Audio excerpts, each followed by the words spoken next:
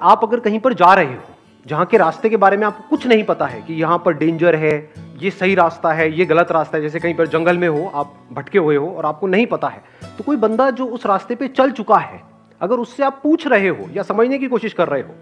तो इसको बेवकूफ़ी नहीं कहेंगे, इसको इंटेलिजेंस कहेंगे, क्योंकि दो तरीके के लोग हैं इस दुनिया में, एक वो जो खुद गलती करते हैं और उससे सीखते हैं, दूसरे वो जो दूसरों की गलती से सीख लेते हैं, वो समझदार है। क्योंकि वो उस काम को एक साल में कर सकते हैं, जो हो सकता है सामने वाले को करने में बीस साल लगे।